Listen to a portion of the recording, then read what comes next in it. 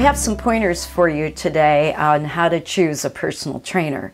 The most important thing is if you want to bring your fitness levels to a whole nother level, is to find someone who is both certified and professional. You start by discussing your short and long term fitness goals with that instructor. And some of the critical elements, though, in the relationship, probably the two most important things, is that this is someone that you have a rapport with and also someone who can motivate you. And without that, it might, it might be very difficult to sustain the relationship.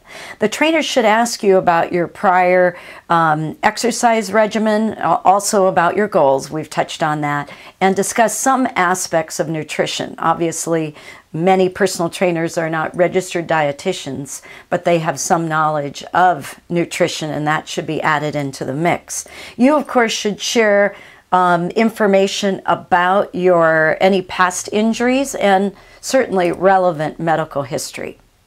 A good trainer should be able to demonstrate excellent technique on an exercise and then critique you when you attempt those moves for the first time.